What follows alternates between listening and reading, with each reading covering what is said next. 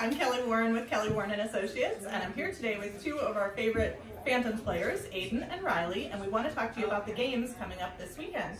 This upcoming weekend on Friday, we are doing our Hockey for Homeless game, and on Saturday, Saturday our Hockey Fights Cancer game. Bring five non-perishable food items, and we will give you a five dollar voucher to any of our future Phantoms games. We're doing this in support of Cedar Valley and Second Harvest Food Bank. And then also on Saturday's game, Saturday's game, we have our Hockey Fights Cancer game, which is in support of the American Cancer Society, where we'll be wearing our specialty Cancer Night jerseys, which can be purchased or they'll be auctioned off after the game.